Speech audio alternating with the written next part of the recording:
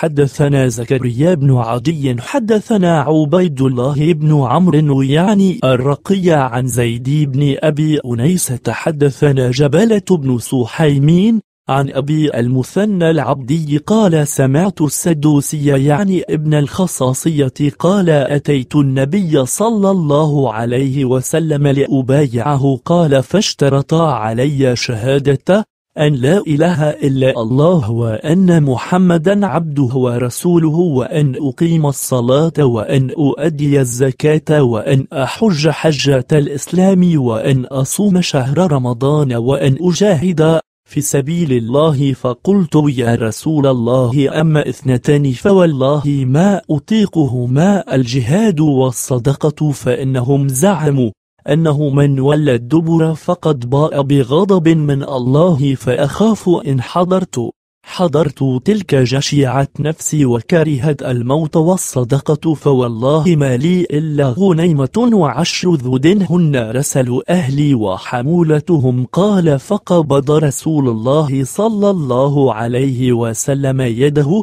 ثم حرك يده ثم قال فلا جهاد ولا صدقة فلم تدخل الجنة؟ إذا قال قلت يا رسول الله أنا أبايعك؟ قال فبايعت عليهن كلهن.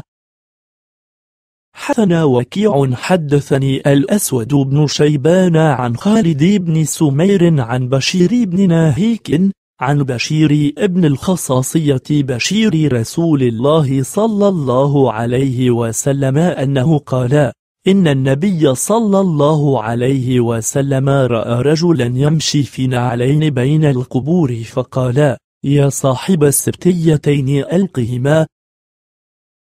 حسن أبو الوليد وعفان قال ثنى عبيد الله بن إدي بن لقيط سمعت إد بن لقيط يقول سمعت ليل امرأة بشير تقول إن بشيرا سأل النبي صلى الله عليه وسلم أصوم يوم الجمعة ولا أكلم ذلك اليوم أحدا؟ فقال النبي صلى الله عليه وسلم لا تصم يوم الجمعة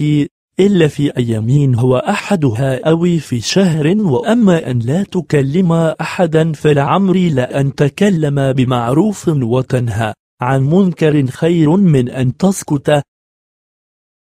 حسن أبو الوليد وعفان قال ثنى عبيد الله بن إد حدثنا إد يعني ابن لقيط عن ليلى امرأة بشير قالت أردت أن أصوم يومين مواصلة فمنعني بشير وقال إن رسول الله صلى الله عليه وسلم نهى عنه وقال يفعل ذلك النصارى وقال عفان يفعل ذلك النصارى ولكن صوموا كما أمركم الله عز وجل وأتموا الصيام إلى الليل فإذا كان الليل فأفطروا.